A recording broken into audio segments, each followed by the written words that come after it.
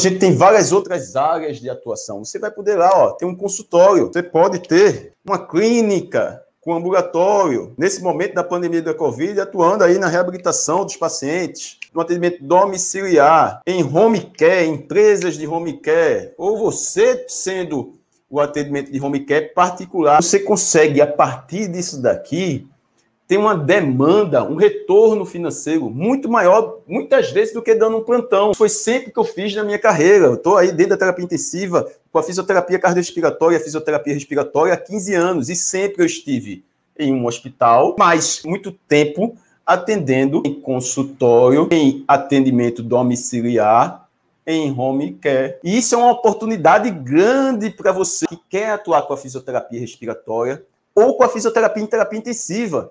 Porque um paciente de home care vai ser um paciente crítico ou potencialmente crítico. Um paciente lá no atendimento domiciliar pode ser um paciente potencialmente crítico